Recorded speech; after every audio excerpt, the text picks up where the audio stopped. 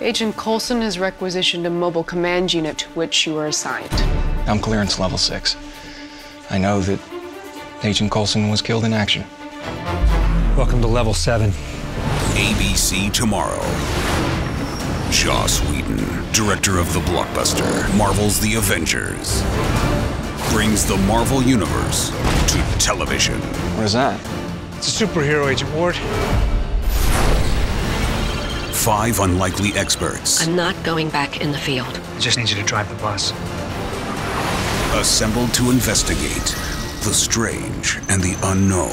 It's not of this earth. Must become the ultimate team. We just can't seem to understand each other. So work it out. Okay, we're sure, right?